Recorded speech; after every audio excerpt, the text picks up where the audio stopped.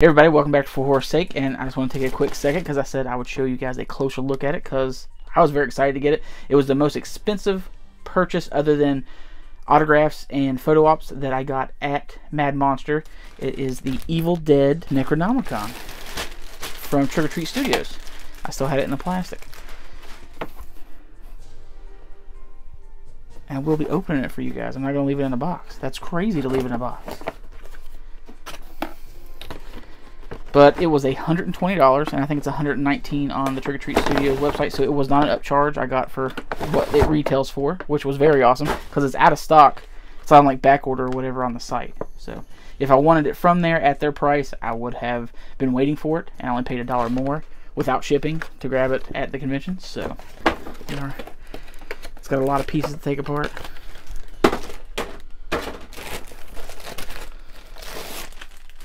And I know this isn't real leather. It's like a pleather, like you would sit on a pleather couch. But it's cool because it does feel like, almost like a real leather. The back. Now, there is a little bit of a disappointing... Like, it maybe if they made it a little bit smaller, like thinner. So those pages looked a little bit better, but it looks like a, a Trapper Keeper, like a binder. Like it would be more like that if it was full of pages, but it's kind of flat. But we get full pages here.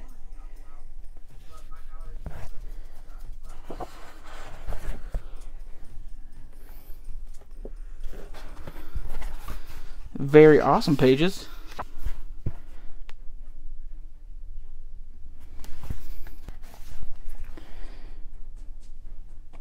And each page has something on it, which is very awesome.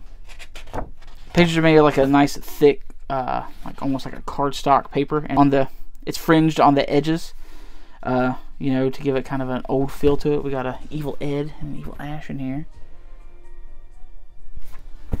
This is very awesome. There's about 20 or so uh, full color pages in here that have something on them. And then you got the covers right here. So if you ever met Bruce Campbell, you could totally open this up and let him sign the inside right here. Plenty of space. But a very cool piece from Trick or Treat Studios. It will be a circular piece to my collection of uh, Evil Dead merchandise. Uh, now, when they brought this out, they also brought the dagger out. So uh, they did not have that there, I probably would have bought it. Uh, I will be looking for it though. And I'm pretty sure it's in the hundred or so uh, price range. But I just want to show you guys a closer look of the Necronomicon Ex Morte from Evil Dead 2. If you liked everything, please like, comment, subscribe, and hope to see you guys next time.